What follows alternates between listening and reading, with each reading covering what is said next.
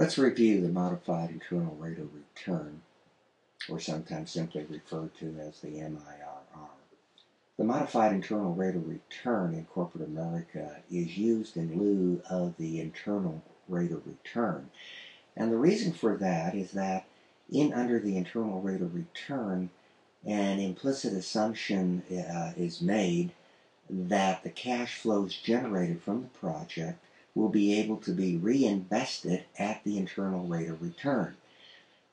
Now keep in mind from our previous chapter on the weighted average cost of capital that our stockholders and bondholders, when they invest money with us, are really placing us in a specific risk category. And if they, and if the weighted average cost of capital is 10%, think of it from the standpoint that they have placed us in a 10% risk category.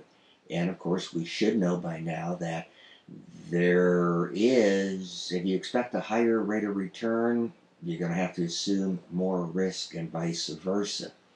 So therefore, what happens is that if we utilize the internal rate of return, our stockholders and bondholders might not be too happy with us. So therefore, we incorporate the modified internal rate of return whereby we will utilize the firm's weighted average cost of capital, uh, that return that is placed upon us by our stockholders and bondholders in this so-called risk category, and that is the rate that we will use uh, to determine this modified rate of return.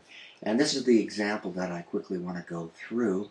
Um, I'm assuming here that uh, this particular company uh, has a project under review that's going to cost $50,000. Uh, it's going to generate $15,000 per year over the next four years. The firm has a weighted average cost of capital 12%. We're in a 12% risk category. And you can see the way that we're going to set this up. Uh, the first step that we will do is that we have to calculate the future value of an annuity stream. And according to the table, uh, this is how we would uh, set it up, just like we did under Chapter 9. Uh, $15,000 each year for the next four years. And of course, that's an annuity amount, so we're going to enter that as payment. Four years. Um, and we're going to be able to get 12%. And the reason why I'm using 12% is what? That is the weighted average cost of capital.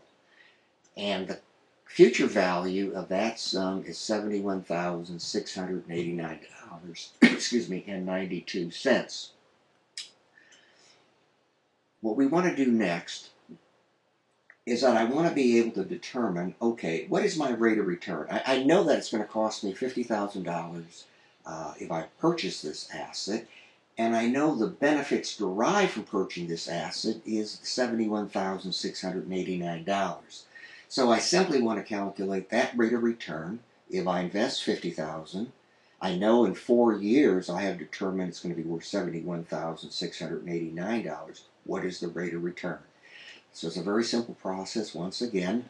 Um, my future value is at 71,689. I know what I'm going to have to pay for it, 50,000. That becomes my present value.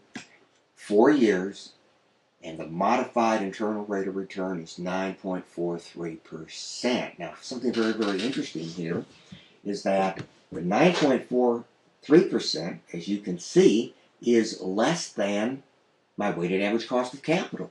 So from this illustration, from the computation, I would not make the investment because my modified internal rate of return is less than my weighted average cost of capital. So there you have uh, a quick uh, overview on how to compute a modified internal rate of return.